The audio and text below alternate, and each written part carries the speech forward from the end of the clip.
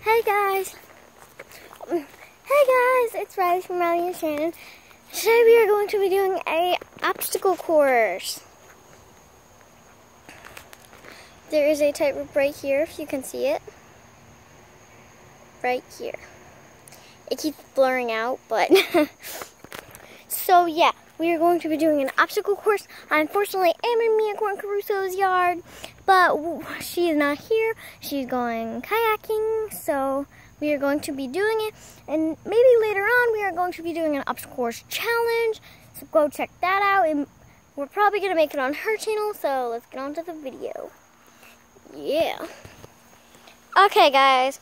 So I'm at the course, and um, we tried to make a little zip line here like right here where these ropes are, but um, that didn't work. So we have this little beam here, and we have these little ridges for safety because I fell and got a bruise from it. And now I my, my shoes are kind of bad. Then we have these like little balance beams. Then we have a DIY seesaw.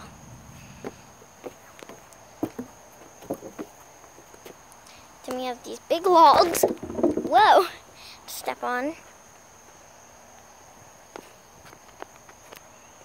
And then that's course one. Then you come over here, there's like three sticks that are just like out there. And then you have this little balance log, which is pretty easy. And then um, it depends because we have a Floors Lava Challenge course. That is going to be on my channel. So, um, where we have to step on the sticks. But for this course, you would, like, step over the sticks. So, so step over these sticks. Try not to touch them. This you usually do, like, um, fast. And then, so I'll go down a step. This was my idea. I put a stick right here so it wouldn't roll. So you step on this into the bigger log. Then to down here. And yes, that is a tomato.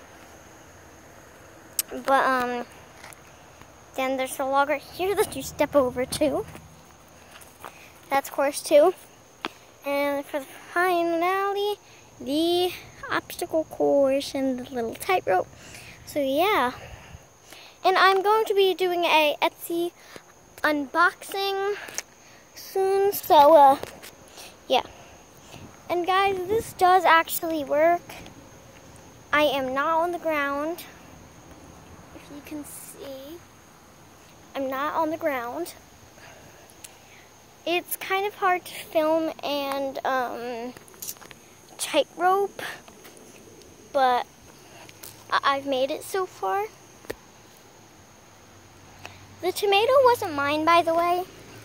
It was Unicorn Caruso's. And then you step onto the slog. And yes, that's my watermelon that I threw. So, um, yeah guys, that was the chorus and we, I will, we might be doing a part two to this challenge. So, um, yeah, we, that's all for today. And yeah, make sure you like, subscribe, and turn on post notifications. Be part of the post notification squad. And yeah, peace.